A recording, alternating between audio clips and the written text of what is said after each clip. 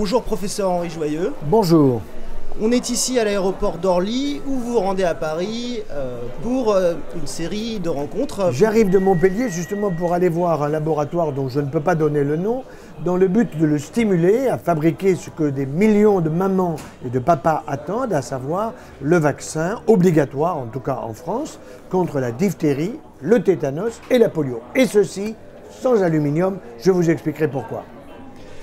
Alors je vous présente pour nos auditeurs, vous êtes professeur des universités, praticien hospitalier euh, de cancérologie et de chirurgie digestive à l'université Montpellier 1, également écrivain, conférencier et engagé dans plusieurs combats sociétaux, dont certains ont déclenché des polémiques.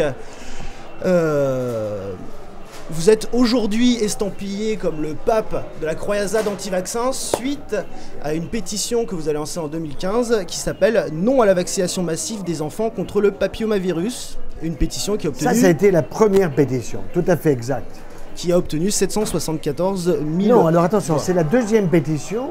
Ça, c'est la première qui a tenu à peu près près de 350 000 euh, signataires, qui était contre la vaccination euh, contre le papillomavirus par deux vaccins, l'un français, l'autre américain, qui étaient destinés à euh, être donnés d'une manière presque obligatoire à des enfants de 9 ans contre le papillomavirus, qui est responsable d'une maladie sexuellement transmissible, le cancer du col de l'utérus, mais aussi les cancers de la zone ORL. Allez expliquer ça à un enfant de 9 ans, c'est complètement aberrant, mais c'est évidemment l'intérêt des laboratoires pharmaceutiques, puisque n'oubliez pas qu'il y a pratiquement 11 à 12 millions d'enfants dans les écoles. Alors si on les vaccine tous, aux frais des parents, ça fait du pognon.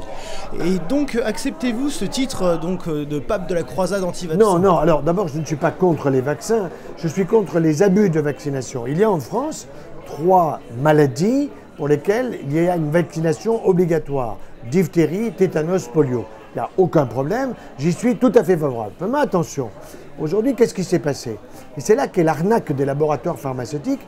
Ils ont fabriqué un vaccin hexavalent, ça veut dire qu'il y a six valences, contre les trois premières obligatoires, diphtérie, tétanos, polio, et ils ont ajouté trois valences supplémentaires de manière très astucieuse, la coqueluche, d'autre part, l'hémophilus influenzae B qui est responsable de méningite chez des enfants qui sont en mauvaise santé, et enfin l'hépatite B. Or l'hépatite B, si vous voulez l'attraper, c'est possible eh bien, il faut que vous soyez chirurgien, infirmier, non vacciné, infirmière, ou bien que vous vous droguez en vous piquant, ou bien que vous multipliez des partenaires intimes. Je pense qu'à deux mois, c'est un peu tôt. D'autant que, et ça c'est très important que les auditeurs le retiennent, pour que un système immunitaire soit totalement construit chez un enfant qui vient de naître, il faut deux années. Car le système immunitaire se construit pendant la vie intra-utérine, sur les 270 jours de la grossesse, plus les deux années. Si vous faites l'addition de ces 270 jours et de ces deux fois 365 jours, vous arrivez à 1000 jours. Donc le système immunitaire de l'enfant, eh bien, il est fait à 1000 jours. Mais pour qu'il soit fait correctement, il faut une bonne grossesse, il faut un accouchement par voie naturelle et il faut l'allaiter Seulement ça, évidemment, ceux qui fabriquent les laits infantiles ne sont pas d'accord. Ils vont vous dire que le lait de maman, il est pollué par la pollution et qu'il vaut mieux prendre le lait de la pharmacie. Je ne suis pas d'accord. C'est un mensonge authentique des laboratoires qui est absolument intolérable. Euh, le professeur Evin, qui a été euh, interdit d'exercer la médecine pendant un an avec le député Bernard Debré, euh, suite à la publication de son guide les des 4000 médicaments utiles, inutiles ou dangereux, où il déclare à propos de l'industrie pharmaceutique, je cite, qu'elle est la plus lucrative, la plus cynique, la moins éthique de toutes les industries, de tous les domaines réunis? Est-ce que vous partagez son Je partage 100% cet avis, qui est un avis juste, qui est exprimé d'une manière rigoureuse, et il est vrai qu'il y a eu des études qui ont démontré que la publicité, elle est évidemment destinée à ce qu'il y ait une efficacité, c'est-à-dire à vendre. Si vous faites une publicité de voiture, de lunettes ou de soutien-gorge, c'est pour que ça soit acheté. Eh bien, les meilleurs publicitaires au monde, ça c'est démontré, ce sont les gens de l'industrie pharmaceutique qui sont capables de vous faire comprendre que tel ou tel médicament vous est nécessaire pour mieux dormir, pour supporter l'anxiété, l'angoisse de la société, pour avoir une meilleure respiration, pour avoir des urines comme ceci ou comme cela, une meilleure digestion. Ce sont les meilleurs au monde. Pourquoi? Parce qu'il touche à la santé. Et que tout le monde est sensible à sa santé, c'est bien normal.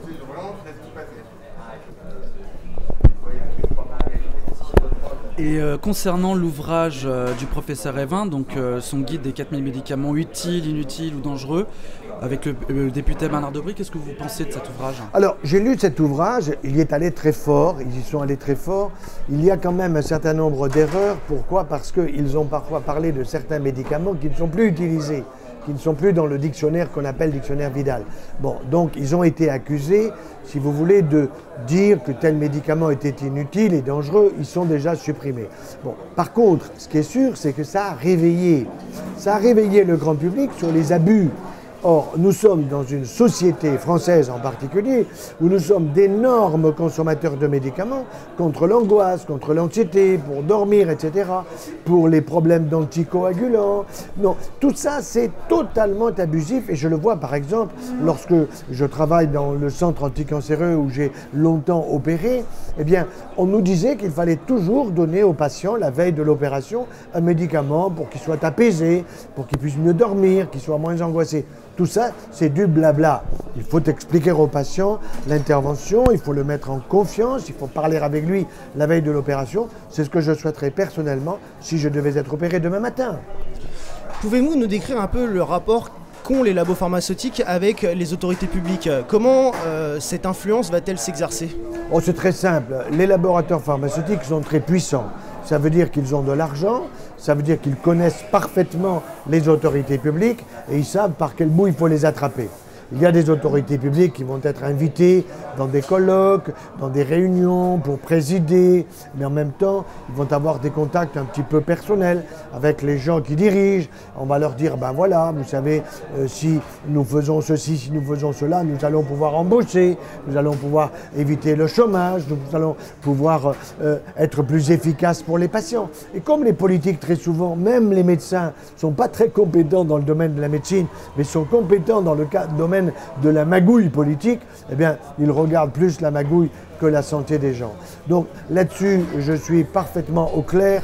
Je ne peux pas donner des noms parce que ça ne serait pas bien de donner des noms, mais vous savez, c'est assez facile à voir. Dans les ministères, vous avez des conseillers qui sont totalement inféodés à l'industrie pharmaceutique, mais d'une manière indirecte. Je ne dis pas qu'ils s'en mettent plein les poches parce que ce n'est pas vrai, mais je dirais qu'ils sont sensibles.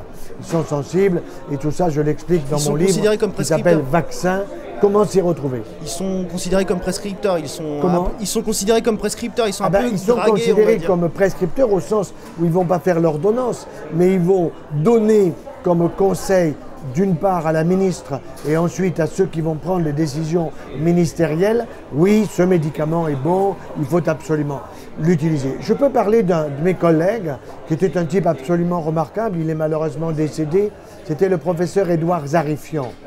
C'était un professeur de psychiatrie remarquable qui a écrit Les jardiniers de la folie, un petit livre merveilleux qui explique un petit peu comment on exploite la population en prescrivant des médicaments. Et il m'a dit lui-même que lorsqu'il était dans les ministères, il a été véritablement, je dirais, poussé, si vous voulez, à euh, signer un certain nombre de documents pour l'industrie pharmaceutique et il a refusé eh bien, il avait reçu des menaces de mort. Ce sont ses paroles, n'est plus de ce monde, mais je peux vous dire que c'est la vérité intégrale. Il était professeur de psychiatrie à l'université de Caen. Euh, je vais vous demander votre avis sur une affaire qui a défrayé la chronique, justement une affaire euh, de conflit d'intérêts. C'est l'affaire du H1N1 et l'affaire Bachelot. Quel est votre avis sur cette, euh, cette histoire Écoutez, là-dessus, mon, avis, mon avis il, il viendra d'un ancien président de l'Académie de médecine que, que j'aime beaucoup, qui est un type remarquable et qui l'a dit lui-même, le professeur Marc Gentilini. À ce sujet, eh bien, il a accusé la ministre Bachelot de dériver complètement. Alors, elle était pharmacienne. Bon, donc, elle était quand même un peu dépendante de par sa formation de la, de, la pharmacie, de l'industrie pharmaceutique. Et quand elle a commandé je ne sais combien de millions de doses, il fallait lui rappeler que nous n'étions que 64 ou 65 millions de Français. 94 millions. Que sont, que sont devenues toutes ces doses? On les a soi-disant repassées aux Égyptiens Je voudrais voir s'ils ont vraiment payé la facture. Je suis prêt à parier que tout ça, c'était du vent en tempête. Et le professeur Gentilini lui-même m'a dit qu'on avait considéré à l'époque qu'il était plutôt de droite plutôt que de gauche et qu'il n'avait pratiquement pas le droit de critiquer une ministre de droite. Eh bien, c'est ça. Notre honnêteté de médecin, c'est pas de critiquer la droite ou la gauche, c'est pas notre problème. C'est que nous sommes au service des patients. Nous ne sommes pas au service de l'industrie pharmaceutique. Euh, ce vaccin, il a aussi été accusé parce qu'il était dangereux. Il n'y a pas eu beaucoup de tests. Est-ce que vous connaissez les détails euh, De du- quoi, du ça vaccin H1N1 et Oui. notamment euh, du problème des adjuvants qui sont accusés peut-être de déclencher Ouais. le syndrome de la guerre du Golfe Les adjuvants, je connais bien le problème. Vous avez eu le mercure qui a été abandonné, interdit parce que dangereux. Puis vous avez eu le squalène. Alors le squalène, c'est un dérivé lipidique, si vous voulez, qui est destiné à exciter le système immunitaire d'un jeune militaire qui va partir au Koweït, qui va partir à la guerre, et pour lequel, évidemment, on se dit attention, les conditions là-bas sont pas terribles, donc il faut le vacciner. Donc ils sont vaccinés. Mais on s'est rendu compte qu'il y a eu des syndromes justement de complications qui ont peut-être été liées à ces adjuvants. Mais moi, je vais parler plus précisément d'un autre adjuvant que l'on retrouve dans beaucoup trop de vaccins qui s'appelle l'aluminium. Heureusement, il n'est pas dans les vaccins contre la grippe. Vous avez six vaccins contre la grippe, il n'est pas présent. C'est une bonne chose. Par contre, vous les avez dans les vaccins hexavalents, là où vous avez le DTP et les autres maladies dont j'ai parlé tout à l'heure. Cet aluminium, c'est un produit qui n'est pas fait pour notre corps. Et quand vous donnez une petite quantité d'aluminium, même faible, à un petit bébé de 4 kg, c'est pas la même chose que si vous le donnez à un monsieur ou une dame de 70 kg, évidemment. Or, cet aluminium, nous allons le stocker dans nos os, dans notre système nerveux central, au niveau pulmonaire, alors qu'il n'a qu'une chose à faire, c'est à être à l'extérieur de notre corps. Il faut absolument le supprimer. Cela viendra, je vous le dis, et c'est pour cette raison que le DTP, il faut qu'il soit fait sans aluminium. Tout de suite, euh, avez-vous, vous, euh, pour votre part, subi des pressions de la part de cette industrie, l'industrie pharmaceutique? Non, on, peut, je vais vous dire, les, les pressions que nous pouvons recevoir de l'industrie pharmaceutique en tant que médecin, en tant que chirurgien, sont très simples. C'est-à-dire que vous avez un laboratoire qui vient vous voir et qui va vous prôner un anticoagulant, disons A, qui est supérieur à celui que vous utilisiez avant, qui s'appelle B. Bon, alors il vous donne un tas d'arguments et, et vous vous trouvez avec votre pharmacien qui vous dit je n'ai plus le B, je n'ai plus que du A. Donc vous prescrivez du A. Bon, mais il faut voir que c'est souvent l'interne qui prescrit. Je peux vous dire qu'un interne, encore récemment, m'a raconté qu'un laboratoire avait invité les internes à une véritable journée de karting. Vous voyez, les petites voitures là. Et que l'objectif de la journée, c'était pas simplement de faire du karting et de bien manger et de bien boire, c'était qu'il y avait un médicament derrière qui était justement un médicament euh, de nature anticoagulant qu'il fallait absolument prescrire dans les services de chirurgie après toute intervention chirurgicale pour éviter une embolie pulmonaire. Bon, voilà une façon indirecte, si vous voulez, pour obtenir des prescriptions. Et il est évident que si l'interne prescrit d'une manière euh, qui lui est recommandée par le laboratoire, il sera invité à d'autres journées de karting. Vous comprenez? C'est comme ça que ça se passe. C'est indirect. C'est malhonnête. Au fond, c'est malhonnête. Mais ça se pratique. Et enfin, euh, professeur Joyeux, pour terminer cet entretien, nous avons rencontré en avril dernier le professeur Jean-François Bergman, qui est médecin hospitalier. C'est l'ancien vice-président de la commission de mise sur le marché de l'Agence française de médicaments. Et il est très critique d'une certaine manière contre certains laboratoires, notamment euh, concernant l'affaire Servier. Il nous a dit cette phrase, et nous souhaiterions que vous la commentiez. Si vous continuez à propager l'idée que les laboratoires se moquent de la santé publique et ne, et ne pensent qu'à l'argent, demain vous allez tuer des gens. Oui, alors c'est un peu fort, parce qu'il faut quand même reconnaître, je vais vous donner un exemple très précis. Les laboratoires pharmaceutiques en cancérologie sont arrivés à fabriquer ce qu'on appelle des antifacteurs de croissance. Qu'est-ce que c'est qu'un antifacteur de croissance Quand vous avez une tumeur et que cette tumeur, vous arrivez à isoler les éléments en cause de la croissance de cette tumeur, si vous donnez un antifacteur de croissance, vous allez réduire le volume de cette tumeur et vous allez pouvoir guérir le patient. Nous avons aujourd'hui en cancérologie, je dirais, nous sommes en train de vivre la fin des chimiothérapies et nous avons des médicaments d'une extrême puissance qui sont des antifacteurs de croissance. Là, je dis chapeau pour les labos, il faut véritablement travailler avec eux, mais il ne faut pas qu'ils abusent des prescriptions de médicaments comme on le fait trop souvent. Et je vais être très clair, en cancérologie, le métier que je connais bien, il y a des abus thérapeutiques de chimiothérapie chez des gens âgés qui ont passé 80 ans, auxquels on donne des chimiothérapies qui peuvent plus raccourcir leur vie que la prolonger. Et là, je ne suis plus d'accord de faire des chimiothérapies abusives de cette façon. Alors pour revenir sur les vaccins, puisque c'était de ça qu'on parlait avec le professeur Bergman, il nous a dit oui, effectivement, il y a des gens qui développent des maladies auto-immunes, il y a des gens qui, euh, développent de la narcolepsie, des myophasies, de la macrophage. Mais c'est négligeable, c'est une quantité négligeable par rapport vraiment au nombre de vies qu'on perdrait. Il nous l'a répété plusieurs fois, c'est pour ça que moi aussi j'insiste. Vous allez tuer demain des gens si vous continuez.